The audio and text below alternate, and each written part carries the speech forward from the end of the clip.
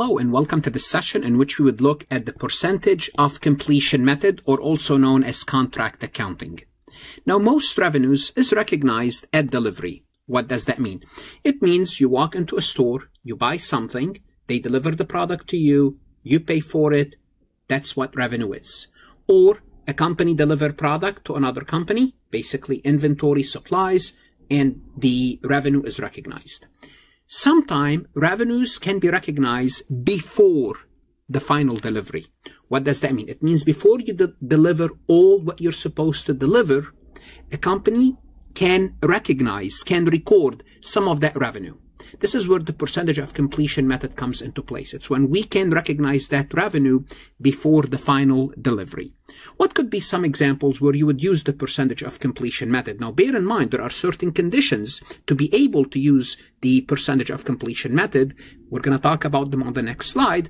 But think about when a company is constructing a high-rise building, hotel, landmark. It may take several years, or you're building a highway, or you have a contract to build airplanes.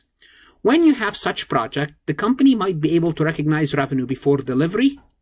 And there are two methods what for contract accounting. One of them is percentage of completion, which is using the percentage of completion method or using the completed contract method.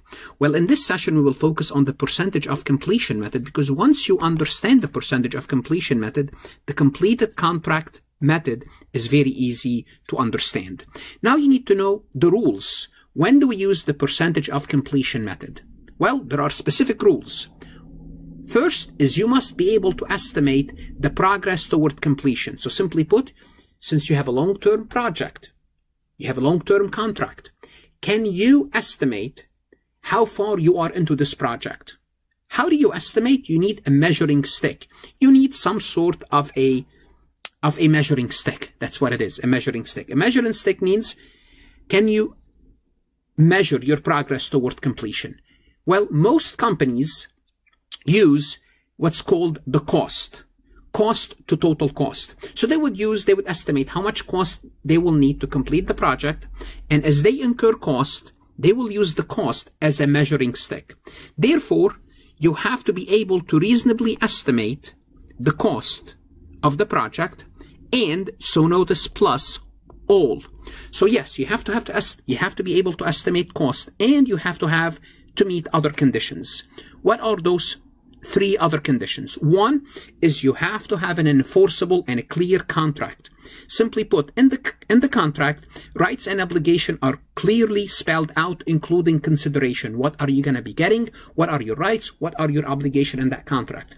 And obviously, the contract cannot be easily cancelable. In other words, once you sign this contract, it's not easy to get out of it. That's why it's called enforceable. There's a stiff penalty if you do so. It's not worth it. Also, the buyer is expected to make payments to satisfy the obligation. So when you sell, when you started long-term construction, if the buyer, if you don't expect the buyer to be able to make payments, well, that's not really revenue. Therefore, you cannot use the percentage of completion method. So the buyer can satisfy the obligation. Well, also the seller is expected to complete their obligation to satisfy the obligation under the contract. So both the buyer and the seller can meet their obligation. When you can estimate cost and those three conditions exist, you can use the percentage of completion method, which is recognizing revenue before delivery. Now, when would you use the completed contract method? Well, if the project is a short-term project by its nature, it's not a contract, it's not long-term construction, you cannot use the percentage of completion. So it's less than a year. You cannot use percentage of completion. Or the contract failed the percentage of completion conditions, which is what? Any of these conditions, any of them, if you fail them, then you cannot use the percentage of completion method. It's as simple as that. Or sometime what's going to happen is this. The contract, you can meet all, all of those, but the contract has inherent risk beyond the normal reoccurring risk. For example, you could have a political risk. You might be faced with some natural disaster. You really cannot predict this, but it could happen. But what is a political risk? Think of uh, Iran and getting into a contract in 2015 with Airbus and Boeing to buy 100 airplanes for their national airline company. Well, they signed the contract. Maybe they can estimate, Boeing and Airbus, they can estimate the cost and everything. However, Iran is subject to economic sanctions. What does that mean? It means at some point, the US administration might tell US companies, you can no longer do business with Iran. And that's exactly what happened. Therefore, there is an inherent political risk in this contract. So what would Boeing have to do? They will have to wait. They will have to wait. They cannot recognize the revenue as a percentage of completion. And this is what we meant by there's an inherent political risk or some sort of a risk beyond the normal business risk. So that's beyond the normal business risk. Now, what is the measuring stick? It's very important to understand how to use the measuring stick. Again, the most common one is cost to total cost. I said the most common, I didn't say the only one.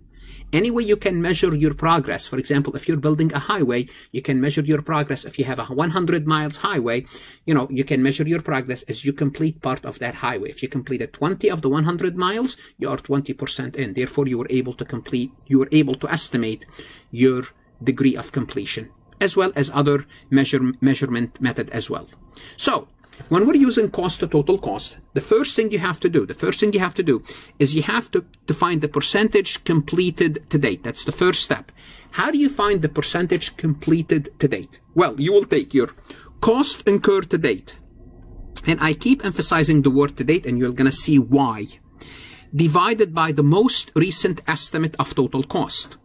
So you would look at how much cost you incurred up to this point in this project and what is the total cost, the most recent estimate. And the reason I say the most recent estimate, because your cost for the project could change. Don't worry, we will work an example. Then you will find your percentage complete. So you will first you find how much am I in? How, what my, what's my degree of percentage of completion? Step two, you will take this degree of percentage completed, which, which, which what you computed in step one, in the first step, and you multiply this by total revenue. Now you can multiply it by total revenue, you can multiply it by gross profit for the project. I'm going to use total revenue, but bear in mind your textbook or your CPA review course or whatever you are using, they could multiply it by gross profit. And you're going to see what the gross profit is in a moment. I will mention it. Then you know that you could use gross profit. So every time the word revenue appears, you could replace it with gross profit, but I will use revenue because I want to give you the complete picture. Once you take the percentage of completed, the percentage completed in step one, multiplied by total revenue, you're going to come up to your revenue to be recognized to date. How much revenue you should recognize to date up to this point. Then step three, you will take your revenue recognized to date, and you subtract any revenue recognized in prior periods. So if this is year one, the prior period will be zero to come up with your current period revenue. Current period revenue means what? How much revenue you can recognize today. So notice you have to complete step one. You have to take the information from step one to build your step two. Then from step two, you build step three from revenue to be recognized to date. Well, that, that's a lot of, lot of information. The best way to illustrate this is to look at a simple example first.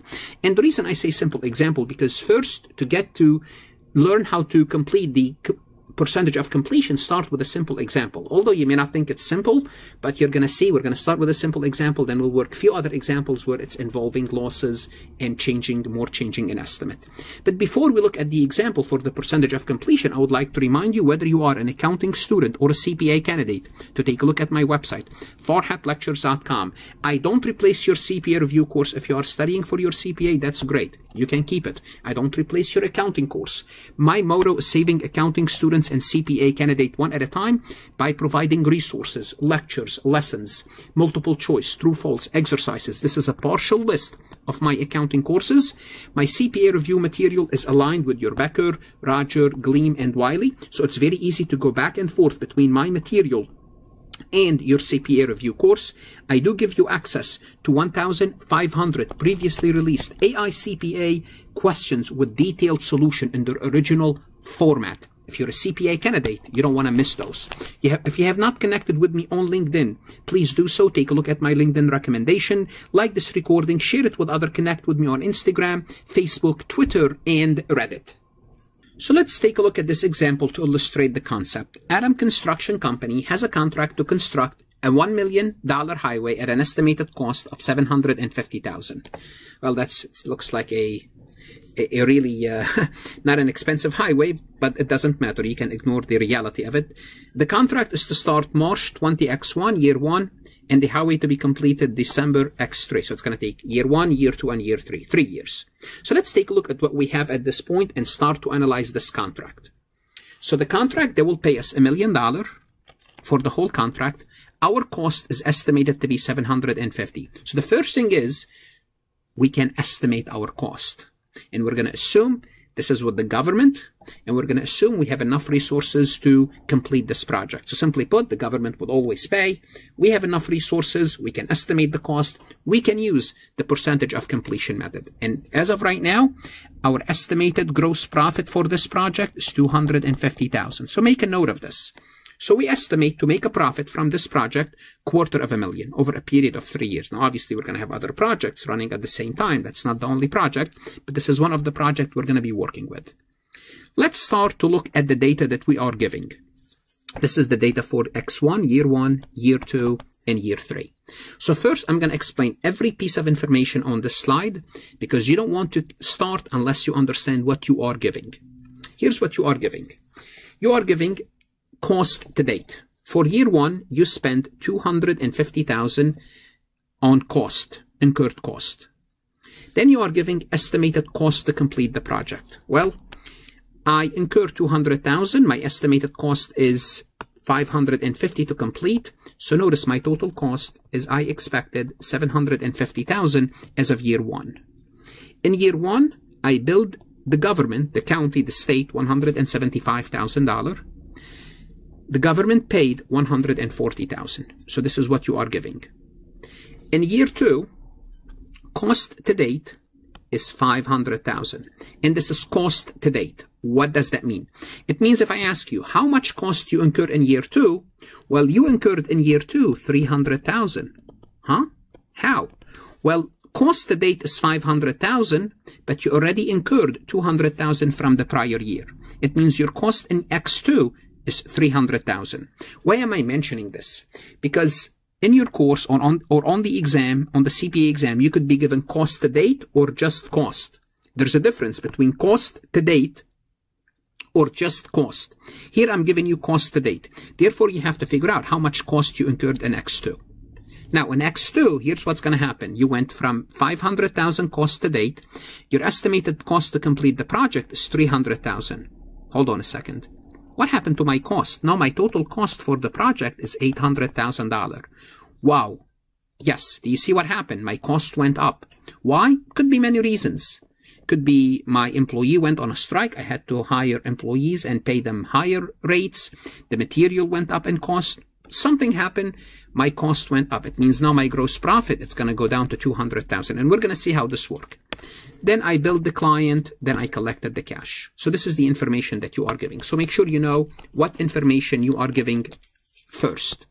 Now, we're going to go ahead and first complete our degree of completion. Remember, the first step is you want to know, okay, I have my cost. Can I measure my degree of completion for every year? Let's start with year one. My year one, my contract price is a million. It, it doesn't change. Cost to date is 500,000, uh, 200,000. Estimated cost to complete the project is 550. My total cost is 750. That's the most recent estimated total cost. And my pro gross profit right now is 250 because my project will give me, will earn me a million. The cost is 750. My gross profit is 250. Now I need to compute my percentage of completion. This is what I'm trying to complete. Well, it's my cost to date. The formula is cost to date divided by the most estimated cost. So 200,000 divided by 750. In year one, I completed 26.67% of the project. Well, let's do year two and year three. In year two, my contract price doesn't change. Cost to date is 500,000. My estimated cost to complete the project is 300,000. My, my total cost went up to 800,000. Now my gross profit starting in year two, it's going to go down to 200,000 for the total project. Now I need to, I need to compute my degree of completion as of year two. Well, its cost to date, 500,000 divided by the total most recent estimated cost of 800,000. Therefore, my degree of completion is 62.5%. So 500,000 divided by 800,000. Year three, my contract price doesn't change. My cost to date is 800,000. That's it. I no longer have any cost to complete. I complete the project in year three. So cost to date divided by the uh, most recent estimated total cost, 800,000 divided by 800,000. I completed 100% of the project and my gross profit is at $200,000. Now we're going to take a look at my balance sheet entries. And I'm going to emphasize the word balance sheet because we're going to have balance sheet entries and income statement entries. This is the percentage of completion method. Okay.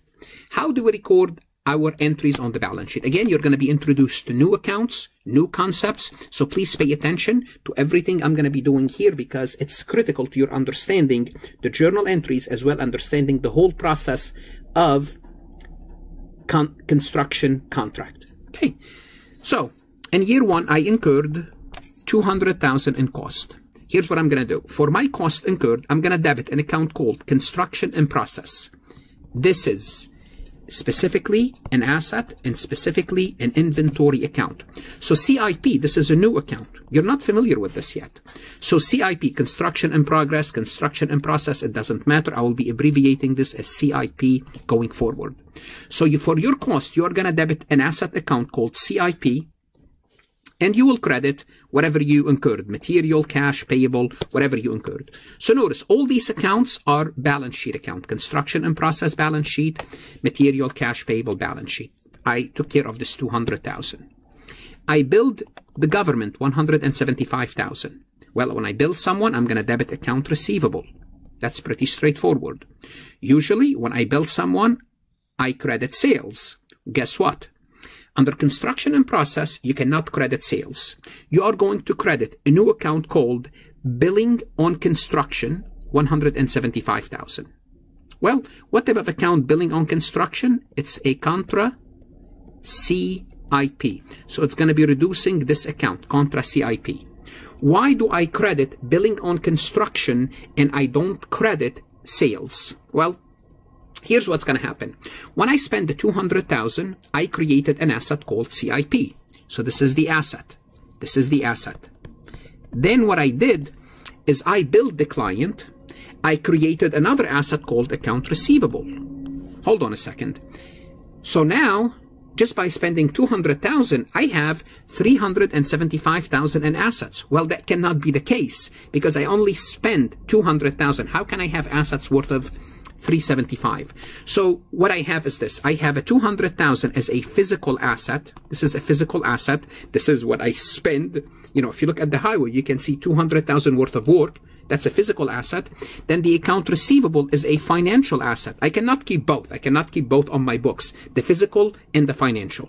So what I would do against account receivable, I will credit billing on construction and billing on construction would reduce my CIP. Okay, so this is why I use, I have to use a new account called billing on construction, which is a contra CIP. Then the government paid me 140,000. I debit cash, credit account receivable. So those are the balance sheet journal entries for year one. So uh, what I suggest you do is to pause for a second or a minute or whatever you need to and see if you can journalize the balance sheet entries for year two. Well, and by the way, as you are doing this, keep track using T accounts. What you should do now, have a CIP, have a billing account, have an AR account, and keep track of your CIP billing and track and AR. You're going to see why. So make sure you keep track of your T accounts, especially the balance sheet account. Year two, what's going to happen is construction in process. It's going to be 300,000. Again, why 300,000? I mentioned it earlier. Your cost to date is 500,000, of which you already incurred 200,000. Therefore, CIP is debited 300,000. I credit material, cash payable, whatever I incurred. Account receivable, I billed 340,000. Debit account receivable, credit billing. We explain why you credit billing. And the government paid 300,000. I debit my cash, credit my account receivable. For year three, I incurred cost to date 800,000. It means I already incurred 800,000 to date. Previously, I recognized 500,000 of it. Therefore, what's left is 300,000. So in year three, I also incurred 300,000. Debit debit CIP 300 again keep track of your CIP credit material cash payable 300,000 then I billed the, the government 485,000 debit AR credit billing. The government paid 560 debit cash credit accounts receivable. So those are the journal entries that I that I perform on the balance sheet. Those are called balance sheet journal entries because because all the accounts that that are appearing all six accounts are balance sheet accounts. It's very important to see how these balance sheet accounts appear on the balance sheet because we have some new accounts. Here's what's going to happen. For year X1, you're going to have account receivable of 135,000, which is 175 minus 140. You're going to have CIP 200,000. Well, actually, you're going to have a different CIP. We'll see why later, but we can make the point here. You're going to have CIP 200,000. Again, the billing is a contra CIP, so CIP minus the billing will give us 25,000. So simply put, we have an asset called CIP in excess of billing, a new account, which is CIP minus billing of, of minus billing will give us 25,000 and this is under current assets. This is what it this is what it appears on the balance sheet. Year X2, please pay attention here. Your receivable will be 75,000, which is, you know, you started with 35, you billed the client 340 minus 300,000. So basically you added 40,000 to your receivable. Your receivable should be 75,000 as of year two. Now pay attention to what happened in year two. Please look at this. Look, look at see what happened here.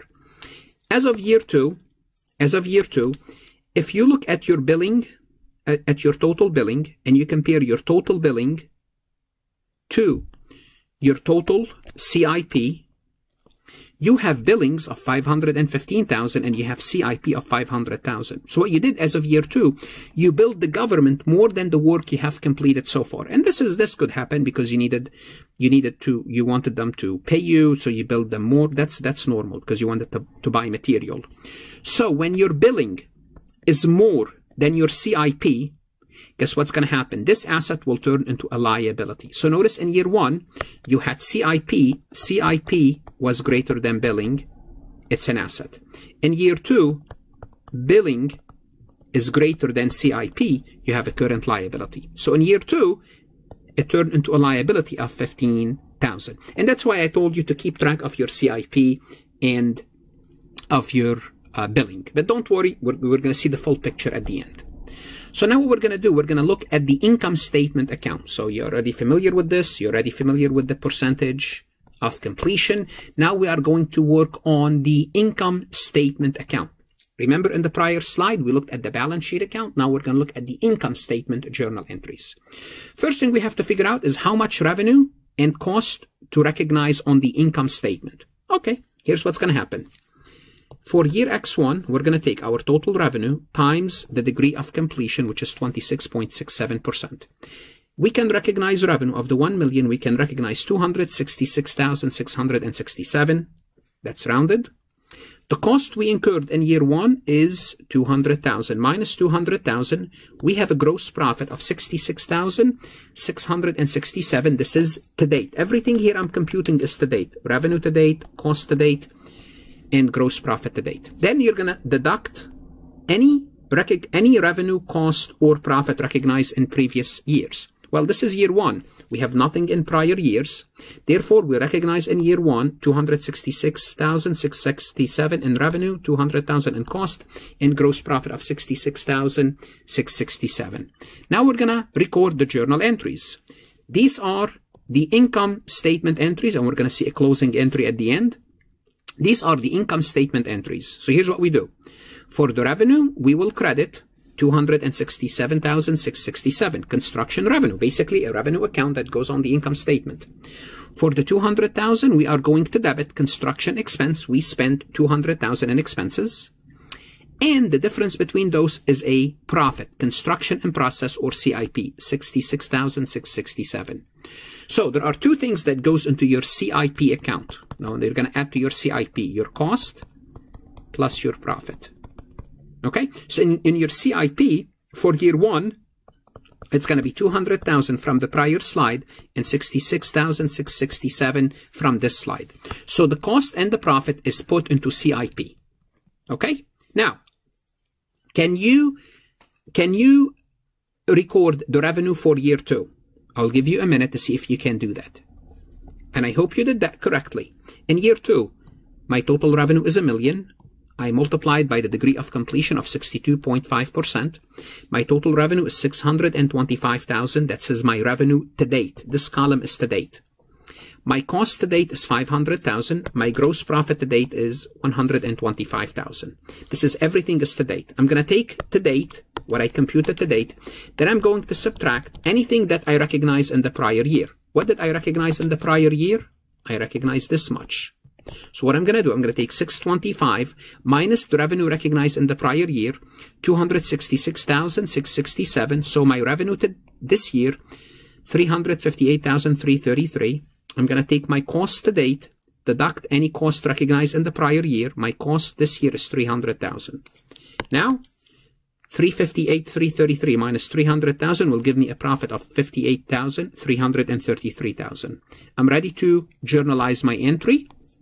My revenue is 358, 333, which is coming from my revenue from this column. The cost is 300,000 and I put my profit 58,333 in my CIP in my CIP account. Again, what I illustrated earlier, I showed you that billing was greater than CIP. Now CIP reversed. But the point remain that if your CIP, if your billing is greater than you, your CIP, you have a liability. And that's why I did it earlier to show you that it's a liability if at any point in time your billing is greater than your CIP. Okay? So I did this on purpose earlier so you can see the point. You can see the point. But here too, you also put the profit, then it will reverse. Okay? Year three, the total revenue is a million. You have completed 100% of the project. Your revenue to date is a million. Your cost to date is 800,000. Your gross profit so far should be 200,000. We're going to take all previously recognized revenue, which is previously recognized revenue is 625,000, year one and year two. We're going to take all the previously recognized cost, half a million. We're going to take revenue to date minus any previously recorded, which is going to give us 375 cost to date minus previously recorded of ha half a million, it's going to give us cost 300,000. Revenue minus cost will give us profit of 75,000 for year three. For year three, we credit revenue 375, debit construction expense 300,000, and add the profit to our, to our CIP account of 75,000. So, all in all, now we recorded all the balance sheet account. Here's what's going to happen. If you did what I asked you to do, and you kept track of your CIP, you should have in CIP right now, let me just put it in another place here. You should have in CIP, if you kept track of everything, you should have in CIP a million dollar. And if you kept track, as I told you, for, of your billing account, you should have in your billing account a credit total of a million as well. Once the project is done, remember CIP and billing, billing is a contra CIP, guess what? The net effect is zero. So once the project is done, you would remove the project. You will debit billing for a million, and you will credit CIP for a million to basically zero out both, both account. Even if you keep them, their net effect is zero. But the point I'm trying to show you is you bill the client for the full amount for a million, your CIP is a million, then you cancel them and you finish the project. You finish the project. So I want to make sure you understand the step because if you can see the step, then you understand the concept. So there's a lot. There's a lot. And this is a simple example. What could happen and, and under the percentage of completion method is you could have where the project is originally profitable, then it become not profitable, or it could be profitable in some years and unprofitable in the others. Okay. Now we kept this simple example. We kept simple. We did not change anything. We did not incur a loss. But bear in mind, you have to be able to work with examples where you could incur a loss in a particular year or you could incur a loss for the whole project. And we will work examples that deals with this. Even we can change this example a little bit to deal with it. But what should you do now? Go to farhatlectures.com, work MCQs, and look at other resources that's going to start to help you understand this concept. We're going to look at the completed contract method, how it works. We're going to look at the losses if you incur a loss in a particular year or if you incur loss for the whole project. There's a lot of practice questions about this topic on my website. Go ahead, subscribe, invest in yourself. Good luck, study hard, and of course, stay safe.